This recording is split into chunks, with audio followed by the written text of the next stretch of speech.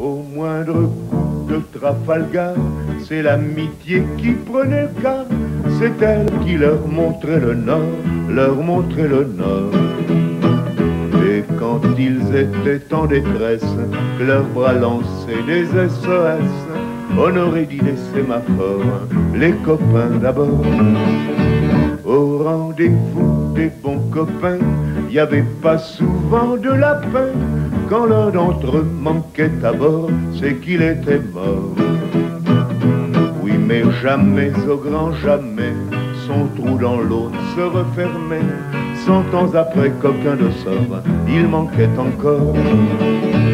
Des bateaux, j'en ai pris beaucoup, mais le seul qui ait tenu le coup, qui n'est jamais viré de bord, mais viré de bord. Naviguait en père peinard sur la grand-mare des canards et s'appelait les copains d'abord, les copains d'abord.